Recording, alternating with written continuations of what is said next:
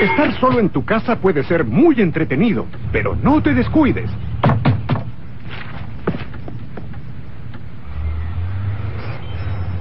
Hola, tú debes ser... eh, Scrap, Mira, eh, yo soy muy amigo de, de tu tío, que, que se llama... Don Graff. Eso mismo, Don Graff, pero él no está en la casa, ¿cierto?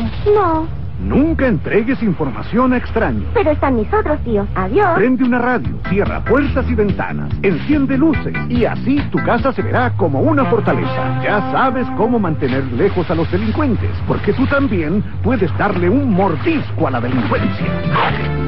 Un aporte de Fundación Paz Ciudadana y Universidad Católica de Chile.